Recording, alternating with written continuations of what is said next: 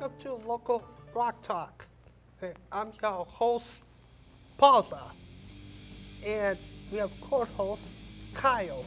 I am Kyle, and we have Jason and Banana Diana from Slick Sharks. And everyone's probably going to want to know, how did you get the name Banana Diana? Okay, so I got Banana Diana way, way back when I was five.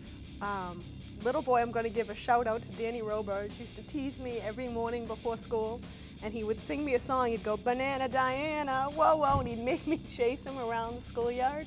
And it stuck, and then my siblings started calling me Banana Diana, so I've had that name, my nickname, since I was five. Well, it's a very, very groovy nickname. Yeah. Fits Oh, you. yeah. Fits you as a person. Yeah. When did the band get together? You got this, Diana? Um, so we've been playing together for about, it was about two years as Slick Sharks. Yeah, I would say like around 2015.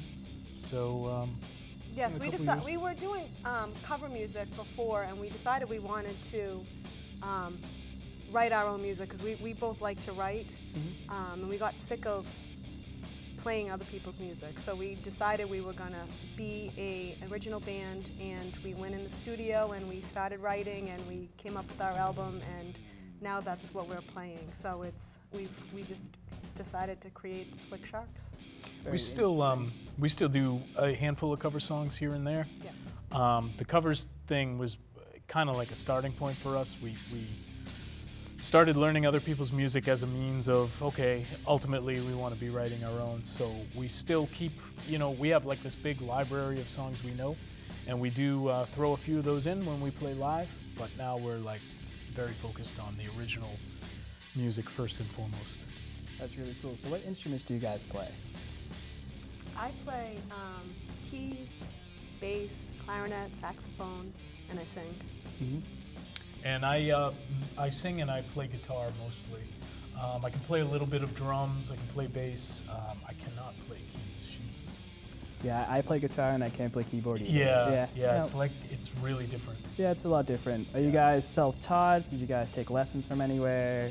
Um, Well, I took lessons on clarinet and saxophone as a child. Um, My mother was a professional saxophone player, so she had us all playing instruments. So I grew up playing instruments, and then in high school, she bought a little Casio keyboard, and I wanted to play, so I just taught myself piano. Um, I taught myself bass. I play a little bit on the guitar, a little bit on the drums, but I don't That's wouldn't interesting. Yeah. considering I wouldn't consider me that I know how to play. So it's them. like a very musical family. We have a Yeah. musical family. That's yes, cool. yes. My cousins, um, my mother's cousins, they're all piano teachers, and they, my father sings, my niece sings, my sister sings. So yeah, they're they're very musical. uh, I'm mostly self-taught. Um, I took a couple. I uh, sang in like school choir and that when I was a lot younger, and I did take a couple vocal lessons, uh, mainly just to learn how to avoid uh, hurting your voice, you know, straining and that type of thing. But uh, mostly self-taught as a singer. I've been singing since I've been singing in rock bands since I was 13 years old, and then with guitar, uh, kind of the same thing. Uh, the only real lessons I've ever had was just uh, being in bands since I was pretty young. Um, I grew up with a lot of, you know, really good guitar players around. So periodically they would sit down and show me some things. And um, different players over the years that I've worked with in different bands. Um, there's been a couple times where we've kind of sat down for like, um, you know, what would- you might consider like a little bit of a more formal lesson, but it was never that formal, you know. He'll, he'll YouTube too a lot. Yeah. He'll just you know learn the way.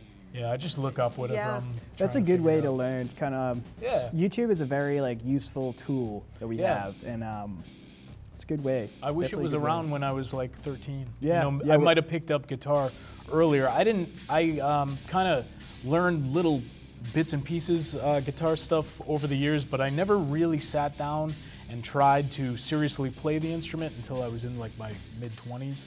I decided, okay, I need to kind of like focus on trying to really learn some stuff. Mhm. like scales and just like Yeah, and and even and all that. different chord positions Yeah. and just how to like work your way up and down the neck. uh, that type of thing. So I wish I had picked it up more seriously earlier because I feel like a lot of the best guitar players that I've worked with all picked it up when they were like 13. And I, I, you know, I experimented with it a little bit when I was young, but I wish I had taken it more seriously. But it's never too late, and YouTube's a great way to uh, catch up if you uh, are kind of learning it later on. Um, yeah, just there's never tons of lessons. Like. I, I'll never feel like I. You can always learn. yeah, There's like an endless amount of say I mastered knowledge to obtain when, you, when you're playing an instrument. Yeah, and then Yep. you just continue to learn, and then I, I, I just change the way I play as, as I grow, um, and then I get more efficient. Try to figure out ways to um, execute the chords better, so that I'm not going up and down the, the board, and then I don't know. I just I'm constantly changing and learning when I play. So is Jason. Yep. Okay. What equipment do you use for a live set? Um, well, I primarily play electric guitar. Um, I just picked up that guitar recently, which is a hollow body, so you can get some acoustic-ish sounds uh, out of it. So that's what I'll be using when we uh, perform. la- I want to thank you, Paulza, because uh, having us perform today, I understand we're the first live performance you've had on local Rock Talk, so that's that's an honor, and uh, we appreciate that very much. So I, I play um, primarily electric guitar. Uh, I play a lot of um, Gibson uh, and Epiphone style guitars. I like a Les Paul, uh, SG. Uh, I got this Gretsch, which is I really enjoy, and I play out of a, a Fender amp. Yeah, and I have, um, I bring my keyboard. I usually just plug into the PA. Um, I do have an amp that I use, so it depends on where we're playing. Um, same with my bass, if, you know, I have my amp. Um, but we don't always have to bring our own PA system. A lot of times we play at places that they have a sound man, so, but we do have a complete PA system too if we need to play a gig that doesn't like have we do sound. for RGs. yeah, Yeah, for exactly. RGs we Yep. brought, Like yeah, my show. yes. Yep, We have too much show. equipment. That was a very good. That was a very good show. Oh yeah, we had a Yeah. and great, great uh, other good bands on sound that. quality at the RGs. Yeah, Pub, yeah, yeah. And the camera that you took picture, Uh huh. That was from the donation money. Oh, that's awesome, man. That's great. So I'm glad it worked out. That was a good show. So that was with uh, Slow Coyote, right? Yep. Um, Alex and And Liz. Yep. Yeah. Very awesome. good lineup. Yeah, it was. We had a lot of fun. That was a fun night. So, for a younger audience, how can you explain how it feels to play a live show? Like, is there a certain feeling? Is there like a fear that comes in? Like, is there anything you do to prepare for a live show? It depends. Um, honestly, I don't know what makes me nervous and what doesn't. Because sometimes I'm completely calm and I have no no nerves at all, and other times I'm very nervous right before I go on. But once we stop playing, you kind of loosen up. Um, so it, it really depends. I, I honestly don't know what causes my nerves, but the, it's there is something incredible about playing live. You just to, to have the crowd like get into your music when you're performing, and it's almost like I'm in character. Like some other person comes out, like uh, like I'm watching myself perform. I, I just remove my shy personality, and then it just the performer comes out, and it is more fun than anything I've ever done. I just I love being on stage and I love performing um, and playing with you know other musicians. It's it's a blast, and then I'm as good as an as a performer as I am an audience member because I, I love watching other bands too. So there's nothing like it though when you're on stage. You just it, it's incredible, don't you think? Like, don't you just have a blast? I love it. Yeah, I, I go like a little crazy. Yeah, I like to like run around like Yeah. a, like a maniac a little bit. That's really fun. I like to get out into the audience a lot when I can, and uh, get them to sing along and you know interact. I think that's really fun. Yeah, I a like it when uh, performers like you know really try to engage the audience. I, I try not to just kind of stand there. That gets a little boring. You know, I try to like really engage as much as I can. Yeah, and to move people with your music, no matter if it's physically moving them to dance or emotionally moving them or you know making them happy, making them sad, it just it's it's neat to be able to do that, to connect with somebody um, that you don't even know, just through your music. Like you just connect so much to it. It connects to everybody. It's um it's rewarding. It's humbling. It, it's it's just incredible. So I encourage all kids to always want to pursue their music. Never never shy away from it. Just go out of your comfort zone and enjoy life. You only live once, so you got nothing to lose up there. If a bad show, you'll learn from it. The next show will be better. I mean, you just got to do it.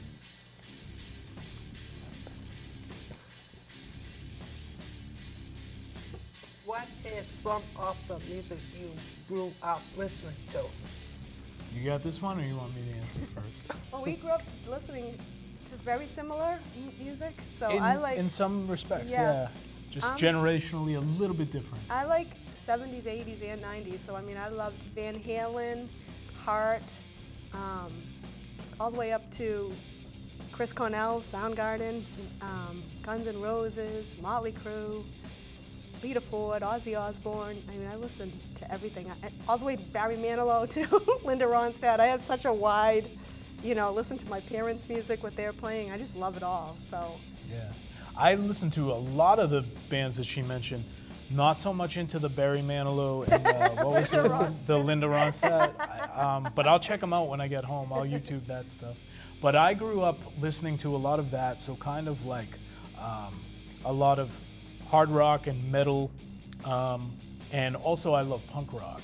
Like, I love a lot of my favorite bands are punk bands. I love the Stooges here, and the yeah. Ramones. I'm a huge Misfits fan. Um, Love the I love like tons and tons of punk stuff, and I also love just like 70s hard rock. That's kind of like one of my Aerosmith. favorite. Yeah, I love Aerosmith. I love ACDC. I love Motorhead, uh, Black Sabbath, uh, Nazareth. I love all that type of stuff. So I really listen to a wide variety, primarily rock, but I do listen to some other stuff.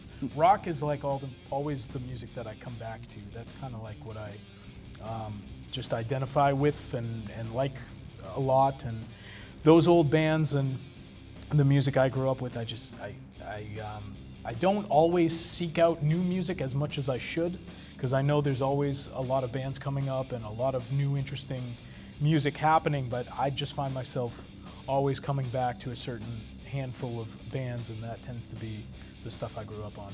Yep. Yeah, I just saw GBH and the Casualties at Yeah. uh, Brighton Music Hall. Oh, Great punk show. Great punk show. Yeah. Uh, these guys in GBH, they're old now. They can still put on a show. They're jumping off the amps, jumping in the crowd, people on stage. It was wild. Oh, that's I love punk shows. I love shows like that. Yeah. It's great, great times. So, uh, if you can like describe the genre of your music or like the sound of your band, and the music you play, like what would it be? I, I definitely think that uh, for our latest album, which which is our first album as Slick Sharks, there's definitely a very strong uh, melodic punk vibe to it. Uh, you'll definitely hear a big Ramones influence. You'll definitely hear a big Joan Jett, uh, the Runaways, that type of uh, melodic but kind of punky hard rock vibe to it. Um, what else do you think, Banana? It, it is. It has it has a little bit of rock and a little bit of punk, and that's that they. I would say it's a rock CD with a punk edge. So it's it's got a little bit of both. Then I have a ballad in there that's I don't know Beatlesque, I guess. Um, Yeah, it does have a little bit of that Yeah. flavor. Yeah. so it has a wide range of likes in it. It's not one genre. It's kind of our own style of how we like to play. There's one tune on there, Sharks Never Sleep, which I think we might play a little bit later. Oh, that'd be Um, interesting. that's got like a almost a little bit of a, a reggae vibe to it, which I was not going for. It's just uh, a friend of mine, uh, Paul Zimmer. Paul Zimmer, if you're uh, watching, he encouraged me. He's like, dude, you, you play a lot of you know rock stuff. You use a lot of distortion and, and all that. Like he's like, try writing a song start to finish, just clean guitar, and that's what that song came out to be. And I'm like, wow, this has a vibe I wasn't even attempting, and that's just how kind of how the song came out, and and it worked. So That's awesome. Yeah. it's cool if you have like a different genre and almost like a, every song could have like a little different tone to it. for sure. Which it is really does. cool. And it depends on how we write it too, and who writes more of it, and where it goes, or what mood we're in. So, Mm-hmm. music just writes itself. I, I don't even know where it comes from. Yeah, it comes from inside. It, Comes I from think it comes from uh, the universe. Like I, I Yeah. read stuff on my phone that I write up, and I don't. I'm like, how did I come up with that? I don't even know where it came from. It's not from an experience. It's just from nowhere. Cool. All right. Do you have any advice for a people who want to be musicians? So for, for musicians, if you want to try to be a musician, I, I say just do what you like, go with your gut, go with your intuition, and don't expect your family to support you or your friends. Just, just do what you want to do and practice, practice, practice, and learn as much as you can. Um, and just go for it. And you might have your own unique style, and that's great. Don't try to be like anyone else. Just be yourself and own it. Don't don't let people discourage you. Just own your craft and try not to think when you play. Just try to feel and let you know practice until you have muscle memory um, and enjoy and have fun because you're supposed to be the entertainment when you're a musician. If you're stressed, if you're angry, that's you know no one wants to see that. They want you to be having fun and just go out and have fun and enjoy it. And that's what I say. Yeah, and I would just say that um, same thing. Just practice as much as possible. Um, get acclimated, whatever comes naturally, whether you're a singer or you gravitate toward guitar. Um, just practice as often as you can, perform as often as you can. Uh, you'll get better. And uh, also, I would say dig deep into you know whatever music you're interested in. Uh, check out what those bands listen to and who their influences were because I think you can really discover a lot of really cool, lesser known uh, music that way. Um, I remember like Guns N' Roses and Metallica were like huge when I first discovered rock music.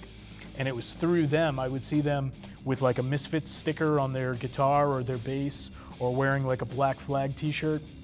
And I would seek out those bands, and it just opened up all these obscure bands that I hadn't heard of. So stick to the roots. Yeah, Stick just, just roots. Go try to discover like what the bands that you're digging at the moment. Who did they listen to? Who did they grow up on? And you'll find so much cool music that way. Mm-hmm. That's awesome. I really appreciate the advice. Our younger generation is definitely going to be wanting to have more advice, more time, and more just practicing to be a musician. For sure. So we have Slick Sharks on today, and they got to perform three songs acoustically off their new album that just came out in July. If you want more information about it, you can find it on facebook.com slash slicksharks. So get ready to hear some music from Slick Sharks. Stay tuned. Stay tuned.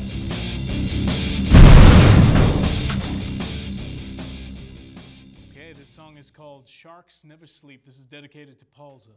You ready?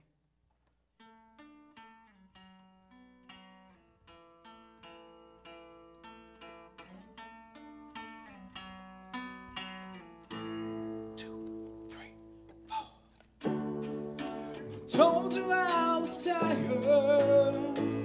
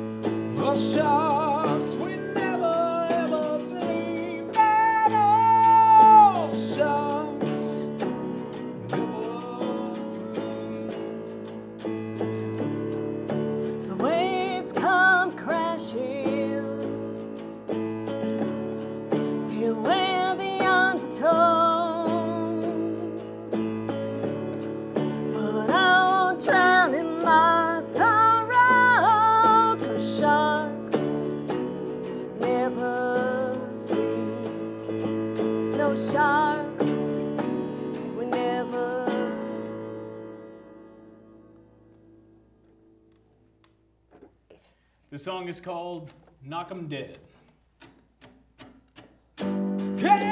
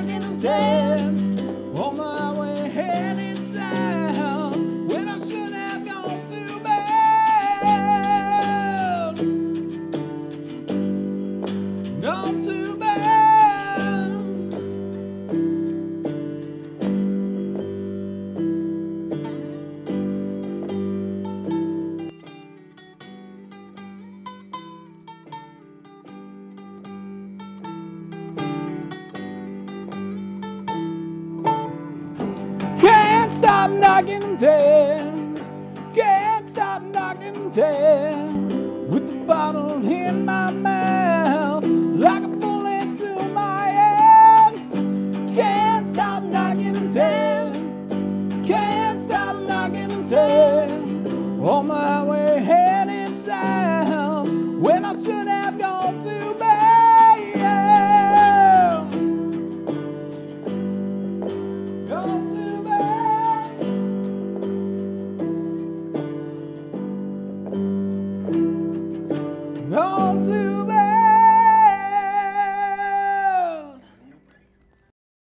right, this one's called Here Comes Trouble, okay. and it's written about me because if you see me, you better watch out. Yeah. Here comes trouble. And I am a very straight laced dude. I don't get into trouble, so you don't have to worry about me ever. Here we go. Here comes trouble. Headed right down way. Same story, different day. Eh? Knocking on your door, you say. Here comes trouble once again. shooting star. You never thought you'd get there.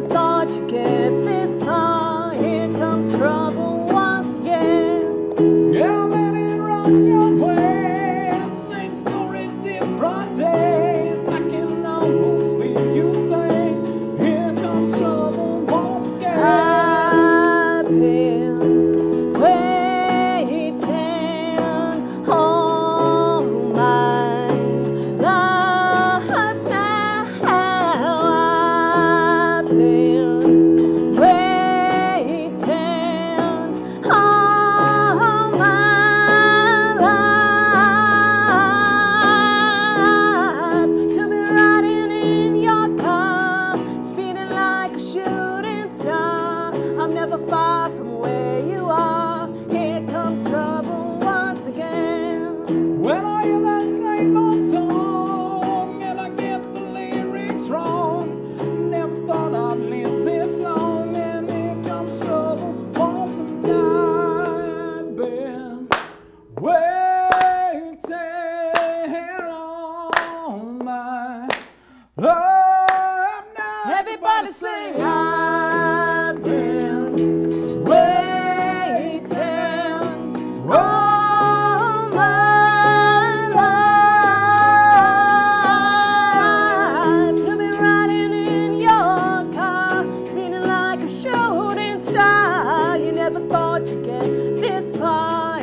of.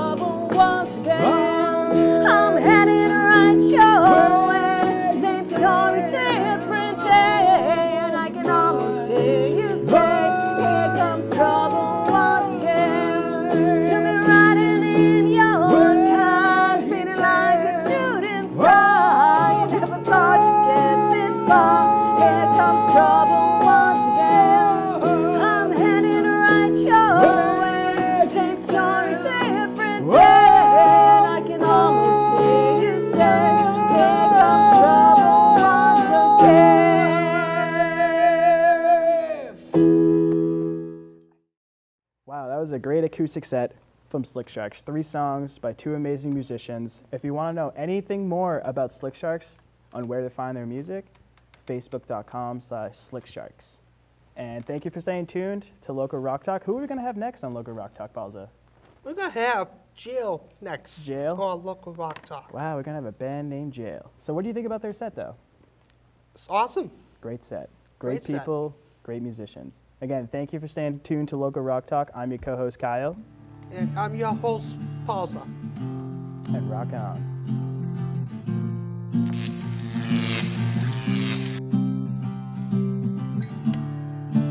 Local rock talk, local rock talk with your host, Balza. Thanks for watching Local Rock Talk. See you next time.